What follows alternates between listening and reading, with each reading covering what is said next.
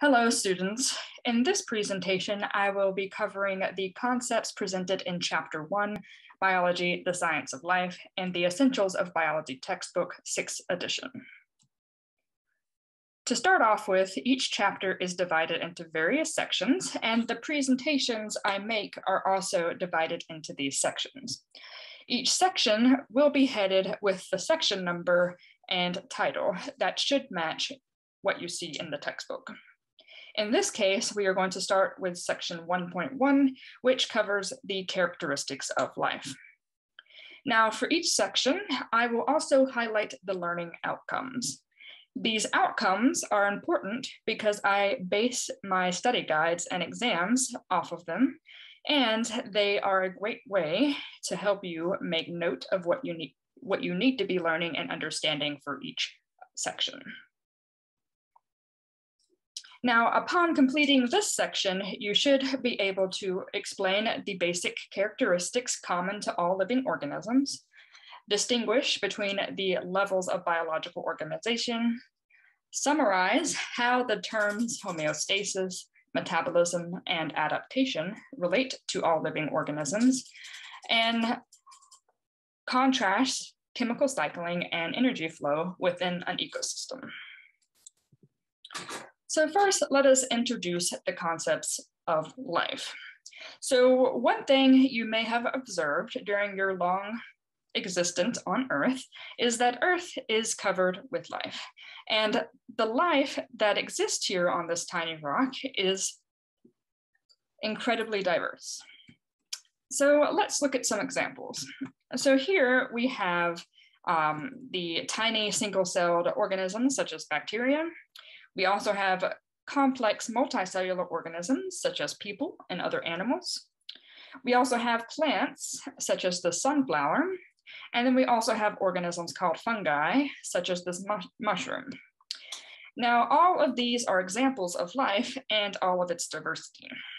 And while these examples seem vastly different from each other, they do share commonality in their organization as well as specific characteristics that separate a living organism from its non-living surroundings. Now, biology is the scientific discipline that studies all things that are living, and it is the biologist that studies life's diversity and what it means to be a living thing. So that begs the question, what exactly makes something alive? Well, in terms of science, you are alive if you have all of these characteristics. So to be alive, you must have levels of organization, you must be able to acquire materials and energy, you must be able to maintain an internal environment, you must be able to respond to stimuli, you must also be able to reproduce and develop. And then finally, you must also have the ability to adapt and evolve to changing conditions. So in the eyes of science, again, you are not considered to be a living thing if you do not meet all of these criteria. So to be alive, you must be capable of all of these things here that are listed. Okay, so let us begin our exploration of these characteristics of life by diving into what it means to be, have, what it means to have levels of biological organization. okay, so life is complex, but highly organized. We biologists have made sense of this complexity by studying life at different stages of organization of inclusion where each level is nested within the next stage, okay? So this particular table that I'm getting ready to walk you through is going to start with the most complex and most inclusive stage, and then it will follow down to the least complex and least inclusive stage. So the most complex and inclusive level of organization is the biosphere. Now, the biosphere includes all regions on the Earth's crust, its waters, and atmosphere that include living things, okay? So in this particular example, uh, the biosphere includes all surfaces on Earth, Again, that include land, water, and atmosphere that are inhabited by living things, okay? Now, the next level of organization is going to be the ecosystem.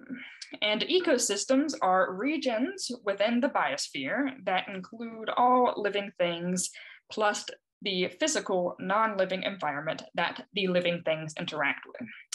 So in our example here, we have zoomed into the ecosystem of the African savanna, okay? So in this picture, we do see both Uh, elements that are living and elements that are non-living. So our living elements are going to include our trees and grasses. We also have some animal life here, such as our zebras, as well as this tribe of people. Okay, now our non-living elements that are present in this ecosystem are gonna be the source of water over here. We also have a building, uh, a structure that the tribe uses to live in. And then we also have these mountains in the background that are considered to be the non-living elements in this ecosystem, okay? Now, the next level down is going to be the community. And community only includes all the living components of an ecosystem, as well as their interactions between other living components, okay? So continuing on our example, we are now only focusing our attention on everything that is living. So we have grasses, we have a tree, we have our tribe of people, and we have our zebra.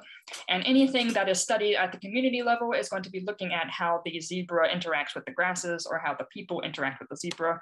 So it's different species interacting together in a similar area, okay? okay, so the next level of organization is going to be the population, okay? And a population is the level that includes organisms of the same species that are located in a particular area, okay?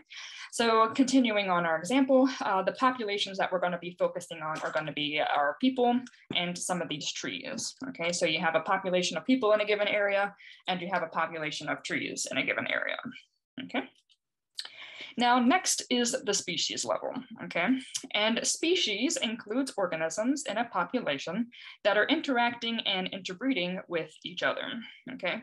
So this is an important distinction because some individuals in the same population may be too far apart to regularly interact with each other, okay? So this just includes individuals that are actively exchanging um, genetic information, they are actively breeding with each other.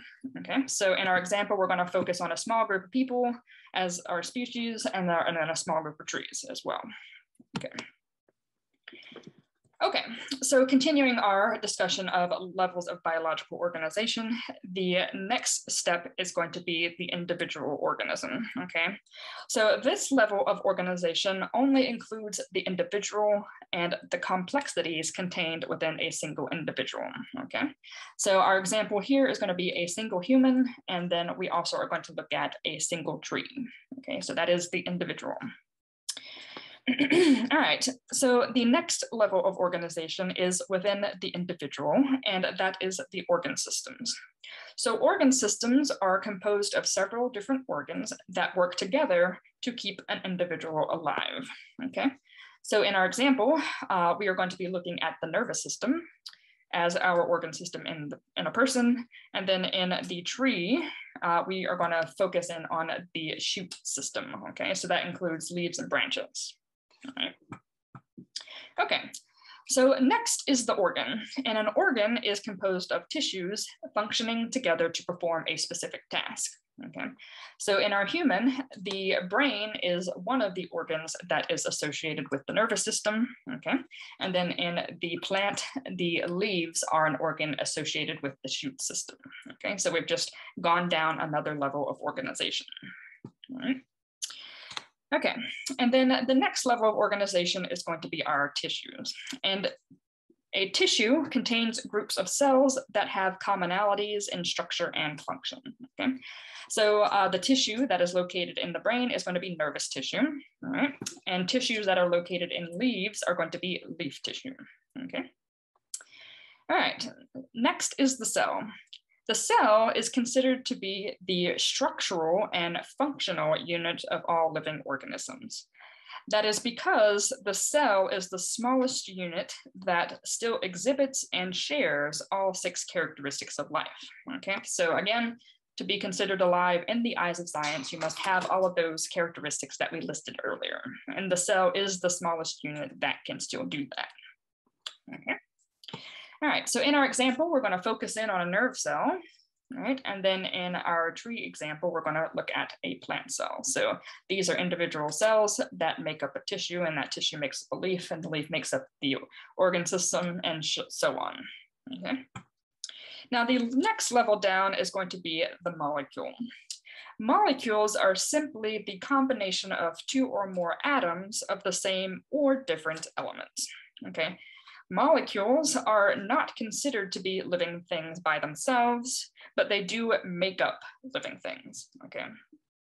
So for example, we have many, many biological molecules inside of our bodies, such as proteins, sugars, uh, lipids, etc.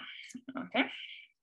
And then finally, the smallest, least complex, and least inclusive level of organization is the atom. Atoms are the smallest unit of an element and are composed of subatomic particles such as electrons, protons, and neutrons. And we will look much more closely at atoms next week in chapter two. All right, so let us continue. Okay, so the next characteristic that we're going to take a look at is that life requires materials and energy. All right, so all life from single cells to complex organisms are not capable of maintaining organization or carrying out the necessary activities without some sort of outside energy and outside material, okay?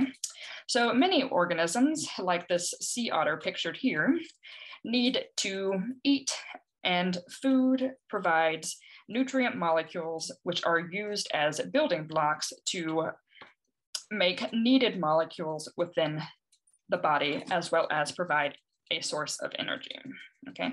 So energy is the capacity to do work and it takes a lot of work to maintain the organization of the cell and the organism. So when cells use nutrient molecules to make parts of themselves, they carry out a sequence of chemical reactions, okay? So your metabolism is simply a term that is used to encompass all of the chemical reactions that take place inside of your body. Now, the ultimate source of energy for all life on Earth is going to be the sun. So plants and other types of organisms are capable of capturing solar energy and carrying out photosynthesis. So photosynthesis itself is a series of chemical reactions that can transform that solar energy from the sun into chemical energy embedded in nutrient molecules that all living organisms can access and use. Okay, so any organism that can undergo the process of photosynthesis are collectively called producers. Okay. And then animals and other organisms that get their energy from the nutrient molecules ultimately made by producers are called consumers. Okay. All right. So uh, the energy and chemical flow between organisms also defines how an ecosystem functions. Okay, so within an ecosystem, you're going to have chemical cycling and energy flow, and those are going to begin with producers, such as grasses, which take solar energy and inorganic nutrients to produce food by photosynthesis.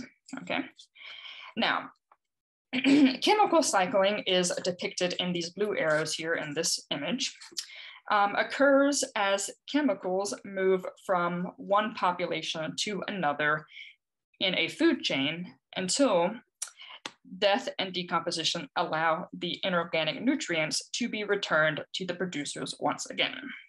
Okay, so here we have um, our producers, okay, which is going to be these grasses, all right, and those producers are going to get eaten, say, by the rabbit, okay? And then the rabbit is going to get eaten by the hawk. And then eventually that hawk will also die. And when the hawk dies, it will presumably die somewhere on the ground, and then its body will be decomposed, and all of the nutrients and chemicals that, made up both the rabbit and the hawk will be recycled using decomposers down here, such as fungi. and other types of mushrooms. All right. And so these chemicals are constantly cycled in a circle um, and reused and repeated over and over and over again. Okay. Now, energy, which is depicted as the red arrows here, on the other hand, uh, flows from the sun through the plants and to other members of the food chain as they feed on one another. Now, the energy will gradually uh, disapparates and return to the atmosphere as heat. So that is what is being depicted here, okay? Thus, energy flows in a linear fashion in one direction and cannot be recycled. So energy is always gonna flow from the sun to the producers, to the consumers, um, to the decomposers, and disapparate out as heat, not to be recycled, okay? So uh, because energy does not cycle, ecosystems cannot stay in existence without the constant reintroduction of energy back into the ecosystem through photosynthesis conducted by producers. Okay, so that is why we absolutely need the sun to survive because the sun is constantly reintroducing energy back into ecosystems and we use that energy to uh, carry out um, living activities, okay? All right. Okay, okay. So let us talk a little bit about uh, the ability for life to maintain an internal environment. Okay, so for metabolic processes to continue, living organisms need to keep themselves stable with regards to temperature, moisture levels, acidity, and other factors critical to staying alive. So many metabolic activities conducted within organisms are involved in maintaining homeostasis. Okay? So homeostasis is a fancy word we use to describe an internal environment that stays within a set of physiological boundaries, okay? So for example, a chilly lizard may raise its internal body temperature by basking in the sun on a hot rock and when that lizard starts to overheat, it will simply scurry back into the shade to cool down. Another example is when you are studying and forget to eat lunch, your liver will release stored sugar to keep your blood sugar levels within a certain range, okay? And many organ systems in our bodies are actually involved in some way in maintaining this internal environment, this state of homeostasis, okay? Okay, so let's talk a little bit about how um, life responds to external stimuli. So in order to find enough food and energy to stay alive, organisms must interact with their surroundings. So the ability to respond often results in some type of movement. So you have Single-celled organisms, such as bacteria, uh, will beat hairs on the surface of the cell to move away from uh, excess light or chemicals. Okay. Another example is the monarch butterfly. Monarch butterflies can sense the approach of fall and begin to migrate south to find places where resources are more plentiful. Okay. Um, another example would be a vulture smelling meat from a mile away and thus soaring closer towards its dinner. Okay. So appropriate responses, such as these examples, help ensure the survival of the organism and allow it to carry out its daily activities. Altogether, we typically call these types of activities behavior. And there are many biologists that study just the behavior of organisms such as myself. Okay. All right, so let's talk a bit, a little bit about the ability for life to reproduce and develop. so life begets life. So everything that is alive must have the ability to reproduce or make another organism like itself. So for example, bacteria and other types of single-celled organisms simply split themselves into two. While multicellular organisms, on the other hand, um, have a reproductive process that usually begins with the pairing of a sperm from one individual and an egg from another individual. Now, this union of sperm and egg is followed by many cell divisions, which results in the formation of an embryo. The embryo um, will eventually be born and become an immature adult, uh, or excuse me, immature individual, which will then grow and develop into various stages, eventually becoming an adult capable of reproduction. Now, an embryo develops into a well or a sunflower or a human based off of a specific set of genes inherited from the parents. Now, genes are basically sets of instructions contained in a long molecule of DNA or deoxyribonucleic acid. Now, DNA is considered to be the blueprint of all life, and as it is the molecule that contains those genes, those instructions. Now, we will get into DNA and genetics uh, a little bit more in depth as we get along in the semester, but this is just a quick introduction, okay? All right. Now, the last characteristic that I want to touch on is going to be um, the ability for life to change and adapt, okay? So adaptations are modifications that make species more suited to their way of life. For example, hawks can fly due to how their body is constructed. They have hollow bones to reduce their weight and flight muscles in their arms to help compress and elevate the wings during flight. There are many different species of hawk, where some have feet with claws modified to better catch fish, while others have feet better modified to catch rabbits. Now, humans also have adaptations that allow them to live in specific environments. For example, humans who live at extreme elevations in the Himalayas, uh, where there is less oxygen in the air, have an adaptation that reduces the amount of hemoglobin produced in the blood. Okay, so hemoglobin is an important molecule for the transport of oxygen. Normally, as our body moves up in elevation, the amount of hemoglobin in our blood increases as well to accommodate lower amounts of oxygen. However, too much hemoglobin can make your blood too thick and unable to work properly.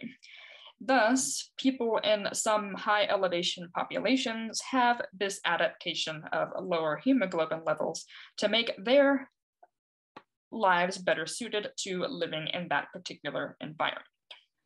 Okay, so that concludes section 1.1. So let's go ahead and dive into section 1.2, evolution, the core concept of biology.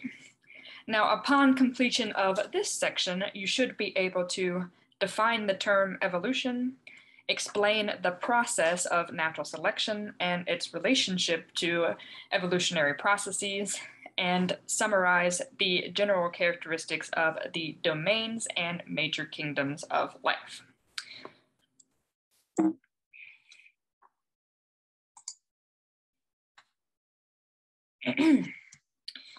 All right, to start off this section, let us first define what evolution is.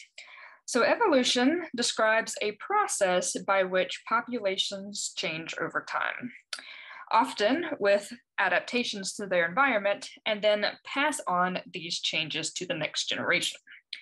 Now, evolution defines how life changes, but it never concludes or suggests even how life began. So, what we can confirm from the process of evolution is that all life shares a common ancestor. The six characteristics of life that we just discussed in the previous section provide evidence to this idea of common ancestry. So we biologists use evolutionary trees to help map out our current understanding of evolutionary relationships among organisms, which can be traced back to that common ancestor. So as you can see here, the base of the tree represents the common ancestor of all organisms depicted in the tree. Okay. So organisms grouped on the same branch, such as this fungi and animals, are more closely related to one another, meaning they have a more recent common ancestor than organisms on different branches, such as animals and plants, for example. So each of these branch points here represent an ancestor. And as we move up the particular tree, we have more and more recent common ancestors, okay? so organisms, again, that have few branch points between their placement and the base of the tree, such as bacteria, means that there were fewer changes along their evolutionary line and they more closely resemble or are more closely related to the original common ancestor.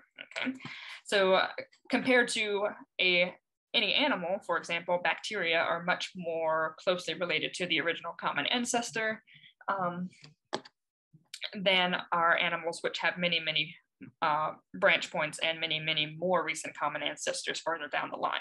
Okay, so that's the basics of how to interpret evolutionary trees. okay, so let's talk about natural selection and evolutionary processes. But first, let's look at a little bit of history. So in the 19th century, two naturalists, Charles Darwin and Alfred Russel Wallace, came independently to the conclusion that evolution occurs by means of a process called natural selection. Darwin is the most famous of the two because he wrote the book on the origin of species, which presented his observations on how the process of evolution works using natural selection. Since that time, evolution has become a core concept of biology, not only because the theory explains so many different uh, scientific observations, but the wealth of data collected since Darwin's time uh, provide the support to the theory and its importance in all aspects of biological sciences. Okay. so what exactly is natural selection? Well, the process of natural selection is the mechanism by which evolutionary change occurs. It is based on how a population changes in response to its environment. Okay. So environments may change due to the influence of living factors, such as a new predator, or non-living factors such as differences in temperature or precipitation. So as the environment changes over time, some individuals of a species may possess certain adaptations that make them better suited to the new environment. Those individuals with those adaptations tend to live longer and have more opportunities to reproduce thus passing those favorable traits to the next generation. So this difference in reproductive success is called natural selection, and that results in changes in the characteristics of a population over time. And the change in the frequency of these traits in a population over time is what we call evolution?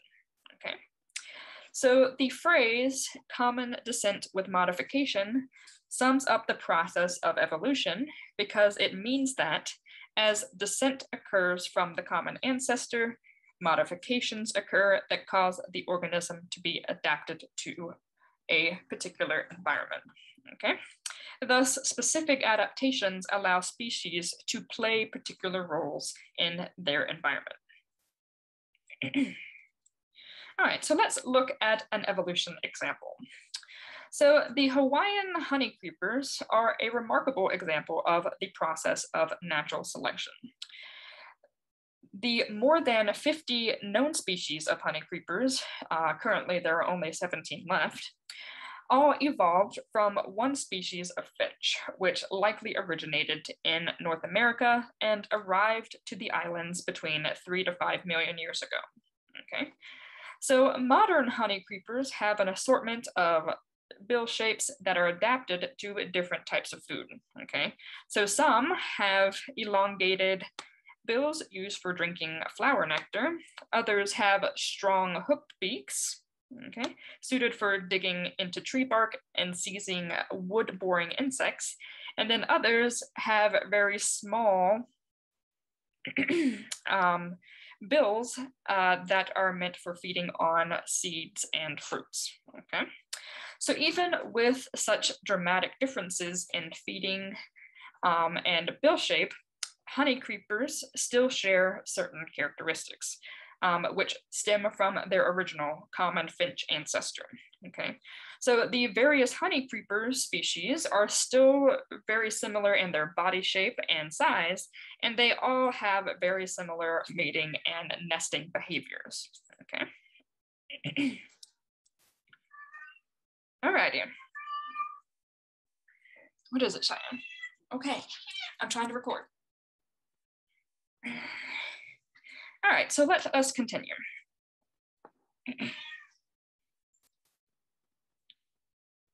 All right, so let's look at um, how we biologists tend to organize the diversity of life. So because life is so diverse, it is helpful to have a system that groups of organisms um, are placed into categories. So there are two areas of biology that help us group organisms into categories. The first is going to be taxonomy, and taxonomy is the discipline of naming and classifying organisms according to certain rules. And then systematics is um, a discipline that classifies organisms according to presumed evolutionary relationships. Um, so systematists learn about evolutionary relationships between species. Um, some tax, uh, taxonomy and taxonomic groups of given organisms may change. So uh, systemicists are even now making observations and performing experiments that will one day bring change in the classification system adapted by the textbook we are using. So perhaps uh, five years from now, the classification of organisms may have been rearranged several times, but it is all in an effort to reflect the truest relationships among organisms given the available knowledge, okay? So um, currently, uh, we tend to use this particular system of classification where we have, again, a higher, more inclusive uh, group trickling down to a least inclusive group. So these categories, um, starting with the most inclusive is going to be the domain, followed by the kingdom, followed by the phylum, then class, then order, then family, then genus, and then species. So again, these categories of classification help us organize uh, organisms into these various groups of most inclusive to least inclusive. So let's look at an example over here. So um, this example is how humans are classified, okay? So the domain is the most inclusive group. So there are many different types of organisms inside this domain. And for us as people, we are in the domain Eukarya, okay? And then within the domain Eukarya, we are classified under the kingdom Animalia. And then within the kingdom Animalia, we are classified under the phylum Chordata. And then within the phylum Chordata, we are classified in the class Mammalia. And then within the class Mammalia, we are in the order of primates. And then within the order of primates, we are in the, the family um, Hominidae, Hominidae. And then within the family Hominidae, we are in the genus Homo. And then finally, we can get super specific to just referring to people. And we are the species sapiens or Homo sapiens, okay? So that's how these categories work. They get more highly inclusive to least inclusive as we move down into each level of classification. All right, so let us talk a little bit about the three domains. So the, the domains, again, are the most inclusive and most general classification in this system that we biologists have made. So there are three domains that all life is separated into, okay? So the first is going to be domain archaea. And in domain archaea, you're going to have organisms that are prokaryotes. So prokaryotes are simply organisms that are unicellular and they lack a lot of organization and specificity inside their cell. Okay, so they lack what we call membrane bound organelles. Now, it is believed currently that um, archaea may have been some of the first cells to exist on Earth, okay? So the next of the three domains that all organisms are classified within is the domain bacteria. And domain bacteria is also a domain that contains nothing but prokaryotes. And again, prokaryotes are uh, simple unicellular organisms, and they don't have a lot of complexity inside their cell. So they again lack those membrane-bound organelles and membrane-bound nucleus. and bacteria are also fairly ancient and they are found pretty much everywhere. So they are found everywhere in the biosphere. And then the last major group, which is probably the group you're most familiar with, is going to be domain eukarya. And domain eukarya contains all organisms that have features related to the eukaryotic cell. Okay, so eukaryotic cells are much more complex. Um, they have a nucleus and membrane-bound organelles. Uh, eukaryotic cells and eukaryotic organisms can either be a single cell or they can be complex multicellular organisms. And of course, again, these particular um, types of organisms have those complex membrane-bound organelles and a membrane-bound nucleus. Okay. All right. so let us dive into the different kingdoms of eukarya. So in this particular presentation, we're mostly going to fo focus on the third domain. And in, within the domain eukarya, there is four kingdoms within, within them. So the first is going to be the kingdom protist. So protist is a diverse group of eukaryotes. Many of them are single cells, uh, like euglena, like euglena, euglena, excuse me. And um, they are a type of organism that has both plant and animal-like characteristics. And then you're also going to have kingdom uh, that all plants are organized into, which is the plant kingdom. And then within this kingdom, you're going to have uh, multicellular photosynthesizers, um, such as this uh, bristlecone pine, and they are one of the oldest organisms on the planet currently, okay? And another major king, uh, group uh, is going to be the kingdom of animals, okay?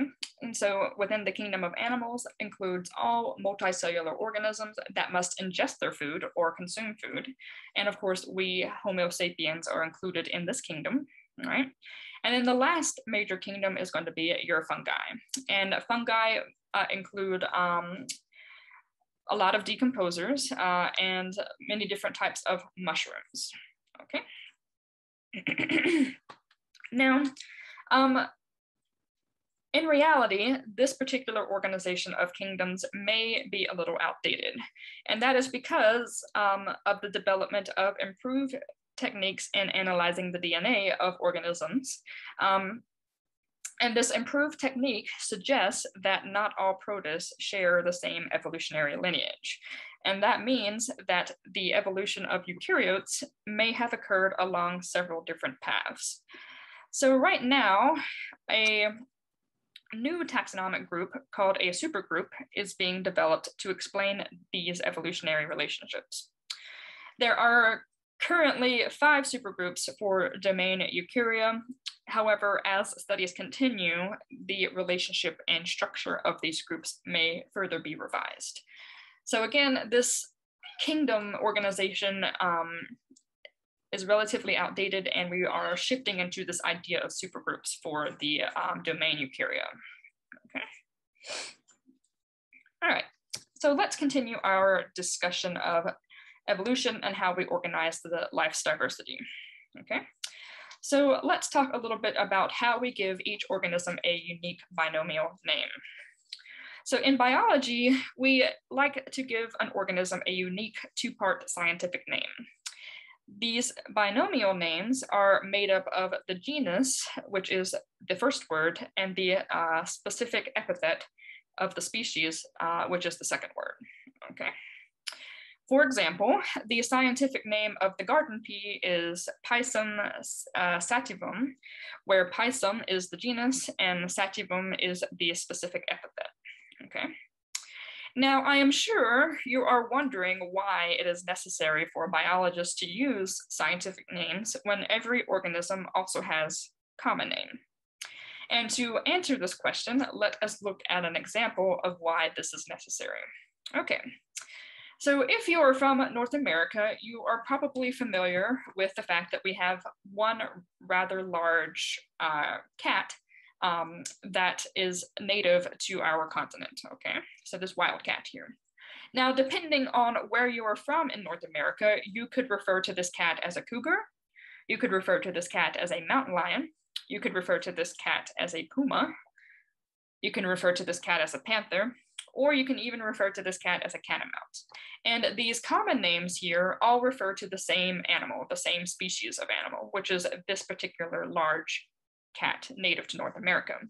And this variation in naming comes from the fact that people live in different regions. And so the common name for this particular animal varies from region to region, okay? So this is a prime example of why scientists need scientific names um, so that it avoids confusion for anyone that is not common to an area or could be studying the animal from a completely different country for all we know. And so this is just a universal way that we name species so it avoids confusion since science is highly collaborative and we often exchange information from different groups of people, okay?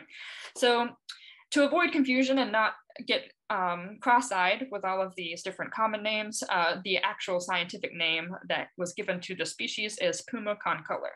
Okay, so we know as biologists that this particular animal is Puma concolor, and we won't get confused with all of these common names. Okay, so that is why we need the specific binomial scientific names.